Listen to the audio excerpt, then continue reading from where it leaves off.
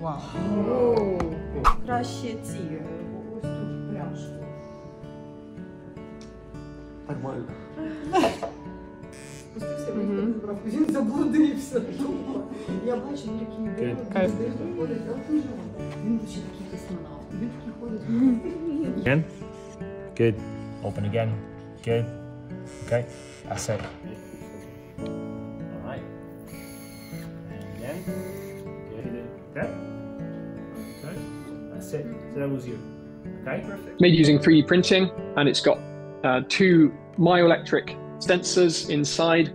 Um, so if I touch one of those, it's going to stimulate a muscle signal, and that's going to close the fingers. And the one on the on the outside is going to open the fingers.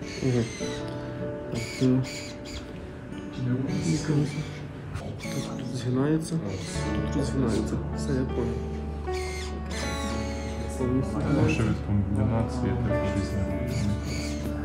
And we saw that a lot of people are losing their limbs and a lot of injuries, and we decided that we can build the center for uh, prosthesis and for reconstructive surgery and for rehabilitation. And we're expecting to, you know, to serve like thousands of Ukrainian soldiers and civilians by providing them new uh, possibilities and new limbs, and uh, you know, just bringing them back to normal life.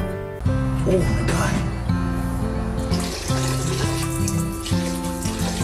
He doesn't know about me. This is the kind of stuff that I absolutely love, like love doing these dips. And then I don't care about the money because I don't charge for this. Um, it's more of the the seeing the kid, the smile that they get when they see like their little leg and shit, and, and they just they they glow up. You know what I mean? Oh my god.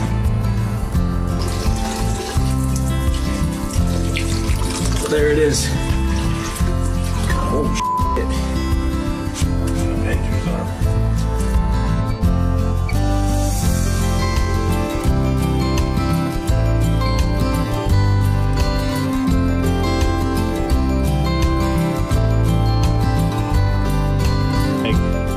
A three-year-old kid, and I, I hope he's happy. Um, I didn't get any of the Thanos on there because they didn't want it, but um,